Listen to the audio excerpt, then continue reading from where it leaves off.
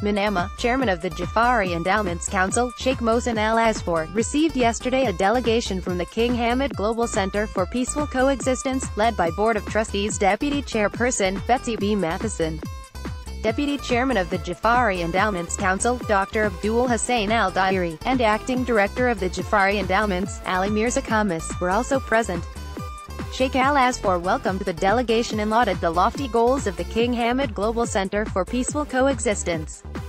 He affirmed that the Jaffari Endowments Directorate supports the King Hamad Global Center for Peaceful Coexistence, and shares with its officials the goals of disseminating peace and moderation and reflecting the image of peaceful coexistence and tolerance which Bahrain has been known for throughout ages as a land of love and peace that embraces all its components.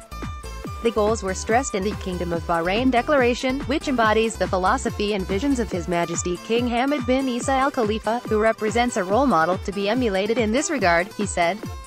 The Center's Board of Trustees Deputy Chairperson, Betsy B. Mathieson, expressed Sheikh Mohsen Al Asfoor's initiatives in support of the activities and events of the King Hamad Global Center for Peaceful Coexistence, in noting that Al Asfoor was the first religious figure the center's delegation has met. She added that Sheikh Al Asfoor has played a key role in consolidating the kingdom's image as a land of coexistence and peace, in noting that the Jaffari endowments participated actively in the events organized by This is Bahrain in various capitals.